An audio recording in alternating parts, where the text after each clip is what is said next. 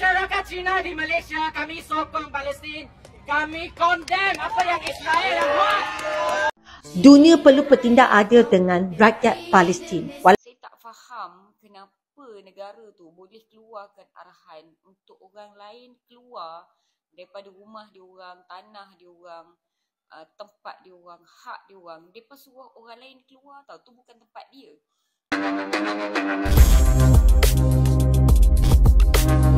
Assalamualaikum warahmatullahi wabarakatuh. Rek, jumpa lagi bersama saya Iki. Gimana kabar-kabar saudara-saudara, sahabat-sahabat saya? Semoga kabar kalian selalu baik-baik saja, dilindungi oleh Allah Subhanahu wa taala, dijauhkan dari segala bala musibah dan diberi umur panjang. Amin ya rabbal alamin. Oke, Rek, seperti biasanya di video kali ini Iki akan ngereaction sebuah video yang telah di-tag di TikToknya Mas Iki. Dan di video kali ini Iki akan ngereaction sebuah video ini Mas Iki sangat kagum sekali ya, Rek, ya mungkin menurut kalian kalau di Malaysia itu yang sokong cuma orang Melayu, Islam kayak gitu ya. Tapi di Malaysia ini ya, bukan cuma Melayu saja ya, ada China dan juga ada India yang mensupport kekejaman Israel kepada Palestina, re. Nah, mereka ini tahu gitu loh ya bahwasannya uh, Israel itu menjajah Palestina, re. Nah, kayak gitu ya, re. Jadi mereka tuh punya hati nurani ya, re ya, gitu loh.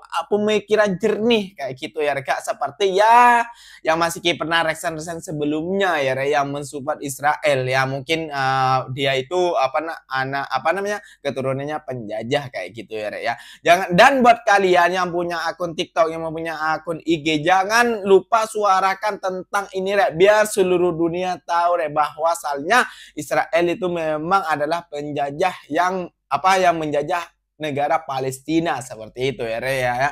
Oke Re, mari kita simak videonya seperti apa ya. Jangan lupa juga dong sokong channel ini dengan cara apa? Subscribe, like, comment, and share-nya. Apa benda kalian boleh komen di bawah. Oke, jom Re. Berani saya kata, tapi it's not stopping me from supporting Palestine. Orang bukan Islam boleh juga sokong Palestin. Bukan hanya orang Islam boleh sokong Palestin. Saya Cina, saya sokong Palestin. Siapa kata Palestin hanya orang Islam yang sokong saja? Bukan.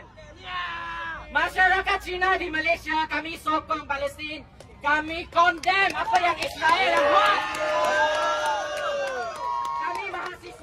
Kami belajar untuk berapa?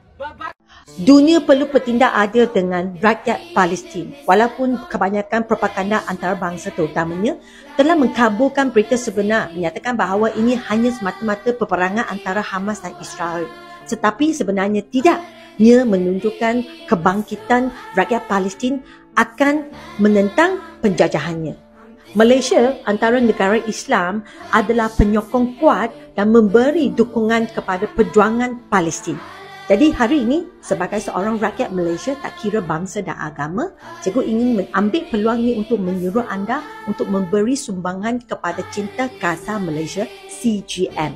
Di depan anda ini adalah akaun Cinta Gaza Malaysia, Malaysian NGO founded by Seoul Malaysian student in Gaza Mr. Nadir. Like, share video ini dan share kepada lebih ramai orang untuk mengingatkan mereka akan tanggungjawab kita sebagai seorang rakyat Malaysia untuk menolong perjuangan di Palestin.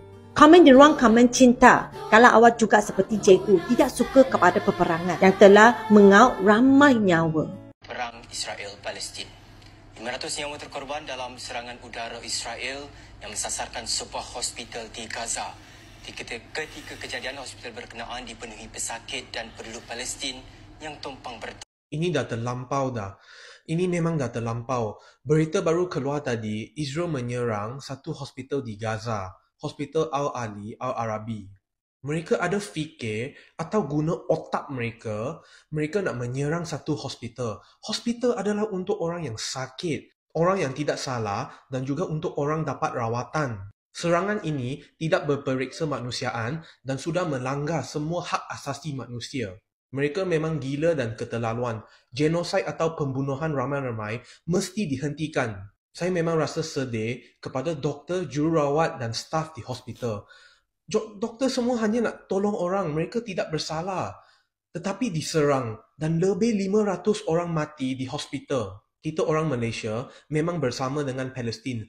Israel mesti hentikan semua kekejaman mereka terhadap rakyat Palestin. Jangan bunuh orang yang tidak bersalah. Jangan bunuh kanak-kanak. Jangan bunuh wanita yang tidak bersalah. Semoga semua orang sentiasa berdoa untuk Palestin supaya Tuhan sentiasa melindungi mereka. status Amin. ni gambar ni dekat Instagram Datuk Siti saya tak faham kenapa negara tu boleh keluarkan arahan untuk orang lain keluar daripada rumah dia orang, tanah dia orang, uh, tempat dia orang, hak dia orang. Depa suruh orang lain keluar tau. Tu bukan tempat dia.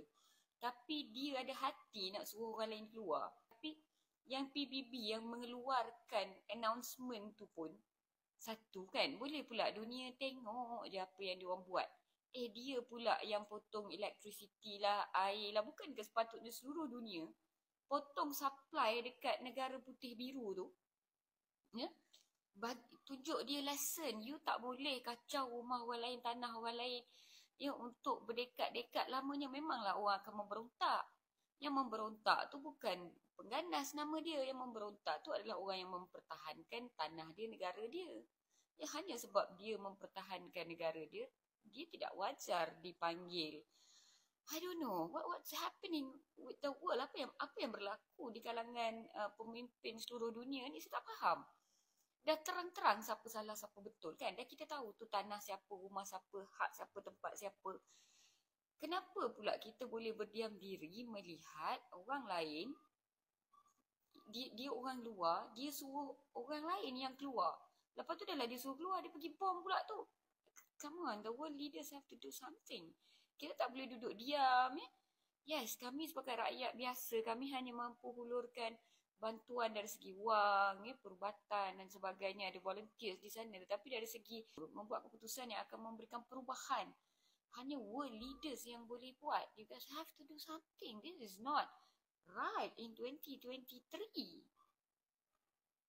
apa apa hak dia untuk suruh orang lain keluar daripada tanah dan rumah dan hak mereka apa hak dia Dan itulah rek, ah, suara-suara daripada orang Cina, Malaysia, daripada orang India, Malaysia ya rek. Jadi ah, orang Malaysia ini ah, tahu berfikir ya mana yang salah, mana yang enggak salah gitu ya rek ya. Jadi apa agak kira lah kamu ah, ah, kamu Islam ke, kamu Cina ke, kamu India ke, kamu Hindu ke, kamu Kristen ke, orang Malaysia ini tahu rek gitu loh. Jadi jadi um, yang Mas Iki pelik ini yang dukung itu mati-matian itu ya yang Bu Monik itu ya itu hari orang Indonesia itu yang mau mati-matian mungkin dia nih utusan daripada Israel kayak Yahudi kayak gitu loh. Jadi untuk menghancurkan kita gitu loh Re sesama apa uh, orang Islam kayak gitu Re jadi buat kalian ya kalian tuh jangan pernah mendengarkan berita-berita yang kebencian gitu itu dia akan diketer di, akan ditertawakan kita sama Yahudi Yahudi rek gitu loh ya. Jadi kalian buka pikiran kalian dan mata hati kalian tuh ya untuk uh, apa namanya untuk mana yang salah dan mana yang benar. Oh ini untuk kebaikan, ini untuk gini gini loh. Dan jadi Mas Iki salut ka, uh, salut sekali, kagum sekali kepada orang-orang Malaysia, kepada China tadi, kepada banyak China dan kepada Aka India ini dan banyak juga rek Mas Eki lalu di uh, VIP Mas Eki TikToker ya, TikTok TikTok Eki. Tapi um, Mas Eki mau reaction ternyata udah uh, apa namanya videonya sudah di delete. Ya seperti biasa ya kalau kita menyuarakan tentang Palestina pastinya di delete ya ya. Luar biasa sekali memang ya.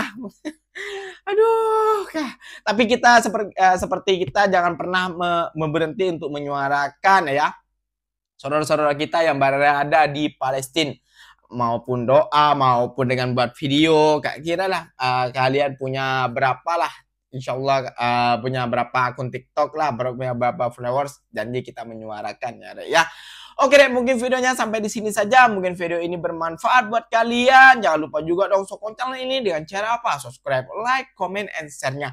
Apa-apa benda, kalian boleh komen dekat bawah. Oke, Aikinya pamit dulu. Wassalamualaikum warahmatullahi wabarakatuh. Deh, jumpa lagi kita di next video. Bye-bye.